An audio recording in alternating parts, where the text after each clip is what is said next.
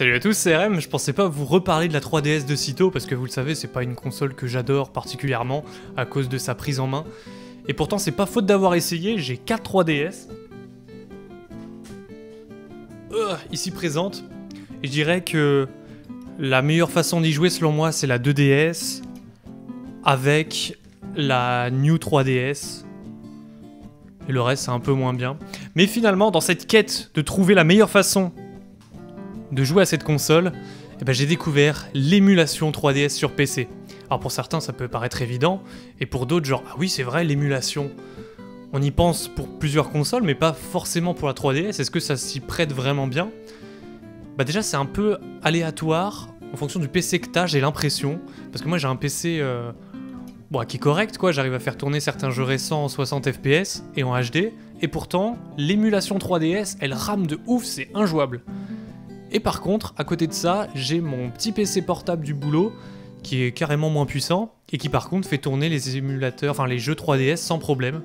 Donc c'est sur ça que je joue et j'ai un peu de mal à comprendre. Je suis pas un expert en informatique donc j'arrive pas à expliquer pourquoi est-ce qu'il y a une telle différence de performance entre les deux machines, mais quoi qu'il en soit, j'arrive à jouer à la 3DS euh, sur le PC portable et ça a résolu énormément de problèmes que j'avais avec la machine puisque en jouant sur émulateur, je peux jouer avec un grand écran, en HD, et avec une manette. Et ça, mais c'est la folie. Moi, je joue avec la manette PlayStation 4, et ça marche trop bien. T'as le, joystick ici, pour les jeux qui demandent plutôt la croix, bah t'as la croix qui est facilement accessible. Et là, vous dites, mais pour l'écran tactile, comment ça marche? Et bah déjà, sur 3DS, on utilisait déjà beaucoup moins l'écran du bas que sur la première DS. Et euh, tu peux configurer sur l'émulateur le fait que l'écran du bas soit en bas, ou alors sur le côté. Ou alors moi, ce que je préfère, c'est mettre l'écran du haut en full screen, et euh, l'écran du bas, c'est un petit truc sur le côté, parce qu'il n'y a pas forcément des informations très très utiles sur la 3DS. Ça aussi qui me dérangeait avec la 3DS, c'est le fait d'avoir un double écran, alors que l'écran du bas, il servait pas à grand chose. Et, euh, et, donc ça arrive en petit, donc les quelques infos que parfois tu as besoin d'avoir dans certains jeux, bah voilà, elles sont sur le côté, elles prennent pas toutes, les, euh, toute la vision. Par contre, l'écran du haut, bah, tu le vois sur, euh, ton PC en entier, et c'est beau quoi, parce que c'est en HD. Et on va y revenir. L'écran tactile, comment vous faites pour euh, appuyer sur des trucs s'il le faut, genre par exemple dans Zelda, pour certains objets, c'est plus rapide bah, d'aller dans certains menus directement dans l'écran tactile et le toucher avec son doigt quoi. Bah ça, faut la souris. Donc c'est un peu chiant. Mais moi par contre, avec la PS4, et ben en fait, la manette PS4, j'ai un petit, euh, petit logiciel qui me permet d'utiliser ça comme une manette. Et dessus, je peux bouger la souris avec le pavé tactile. Donc en fait, c'est tellement pratique, tellement confortable. Je suis calé dans mon lit, j'ai le PC qui est loin. Et bah dès que je dois euh, toucher un truc sur l'écran tactile, bim, j'utilise le petit pavé. À croire que ça a été conçu pour faire de l'émulation 3DS. Mais bon, j'ai euh, celui qui m'a donné envie de me remettre dans l'émulation sur PC, c'est Mikox justement, qui avait pas mal joué aussi sur 3DS là dernièrement euh, sur euh, l'émulation et qui jouait par contre avec sa manette Xbox One et il me disait que ça passait nickel aussi. même si t'as pas une manette PS4, il y a quand même bien moyen de s'amuser et de jouer à des jeux comme Mario Kart 7, mais enfin dans des conditions trop stylées avec bah, la manette, t'as l'impression de rejouer à, Mario Kart 8 en quelque sorte, en version un petit peu moins bien, mais quel plaisir de pouvoir redécouvrir les vieux tracés rétro et même les tracés exclusifs de la 3DS, enfin sans avoir des crampes à force d'appuyer sur les gâchettes ou en continu sur le bouton A pour accélérer, c'est tellement plus agréable.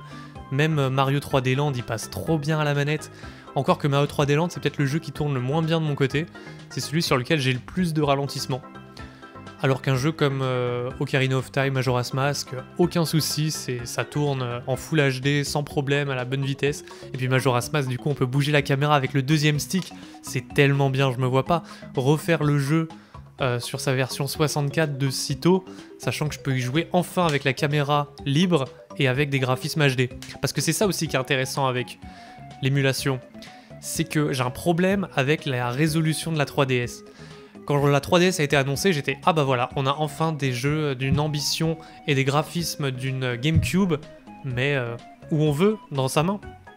Le souci, bah, c'est que l'écran a une résolution pas terrible, et là où finalement la 3D venait un petit peu gommer ces défauts-là, puisqu'on pouvait avoir euh, cette sensation de profondeur qui faisait un petit peu oublier certains pixels, bah, quand tu désactivais la 3D, bah tu voyais très vite que c'était vachement pixelisé. Déjà à l'époque, il y avait beaucoup de téléphones qui avaient déjà de la HD.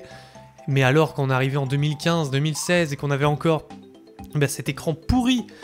Donc quand il y avait des, remakes qui sortaient, que t'avais envie de redécouvrir parce que c'était parfois des jeux vachement cultes, sauf que la seule version du remake était sur 3DS, même en 2017, 2018. T'es en mode, mais là, c'est plus possible cet écran, en fait, quelque chose. Sortez ça sur Switch, mais sortez pas ça sur la, sur la 3DS. Et je me rappelle quand la Switch était sortie, j'ai trouvé ça tellement bien le concept de la console. Je me disais, mais ça serait trop bien que la Switch, genre, tu puisses mettre les, cartouches 3DS dedans et jouer au jeu 3DS avec la manette pro sur la télé. Je me suis dit, même un petit boîtier qui permettrait de mettre ces jeux 3DS, mais sur sa télé en HD, ça serait tellement bien. Une 3DS Switch qui peut se convertir, ça serait incroyable, sachant que le catalogue de la 3DS est énorme. Sauf que j'ai pas envie d'y jouer parce que j'aime pas la console. Et ben en fait, la réponse était juste dans l'émulation. Moi aujourd'hui, j'ai énormément de cartouches 3DS, j'ai 4 3DS, et bah même les jeux que je possède déjà, je préfère y jouer juste sur émulateur quoi. Je suis pas là pour faire non plus l'apologie du piratage parce que ça pourrait peut-être me retomber dessus. Mais ouais, en attendant que Nintendo ressorte ses jeux 3DS dans une version console de salon, bah je trouve que c'est encore la meilleure façon d'y jouer parce que t'as le confort de la manette, un grand écran, de la HD, et donc la HD, je vous disais, il n'y a même pas forcément besoin d'aller chercher jusqu'à la HD pour avoir une vraie claque graphique d'un point de vue euh, 3DS. C'est-à-dire que la résolution de base est tellement faible que quand tu la mets sur l'émulateur, sur ton PC, tu vois que ouais, c'est c'est vachement pixelisé quoi. Mais au moins tu peux jouer avec la manette donc ça passe un peu.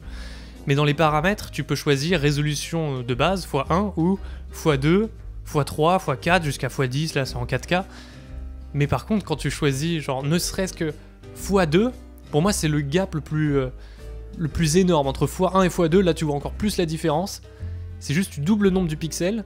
Et vu que c'est des polygones en 3D, bah c'est facile en fait juste d'augmenter la résolution. Le- L'émulateur le fait tranquille. Et bah juste ça, t'es même pas encore en HD, mais tu vois tellement la différence, t'es ah bah voilà, juste comme ça, même pas besoin de faire un écran HD, mais juste si la 3DS avait ces graphismes là par défaut, ça serait d'un coup beaucoup beaucoup plus confortable. Et puis après, sur certains jeux, quand ton PC peut le faire tourner, tu peux passer en- entre x3, x4, 1080p, et là c'est encore plus, euh, ouais c'est encore plus fin, c'est agréable, mais finalement la résolution, je considère pas que c'est méga important à un certain niveau. Une fois que t'as atteint la HD, il y a pas mal de jeux où c'est pas forcément super nécessaire d'aller beaucoup plus loin, mais alors juste ce petit écart entre la résolution par défaut et juste x2, ça rend les graphismes bien plus agréables.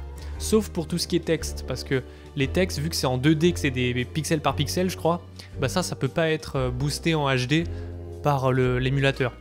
Donc t'as certains éléments où parfois euh, c'est en 2D, et, du coup c'est pas aussi beau que le modèle qui est en 3D juste à côté, quoi. Et donc j'ai pu rejouer euh, à Pokémon Rosa, le remake de la troisième génération. Puis après, je suis passé sur Ultra Soleil. Et en jouant à Ultra Soleil, je trouvais que les Pokémon étaient bien modélisés. Le perso aussi était stylé. On pouvait y jouer voilà, avec le joystick, c'était cool. Limite, ça me rappelait l'épisode Switch. Et je me disais, bah, l'écart entre euh, l'épée bouclier et la septième génération sur 3DS commence un petit peu à, à se creuser. euh. Enfin, l'écart euh, se réduit au contraire puisque parfois j'avais l'impression presque de jouer sur la Switch quoi.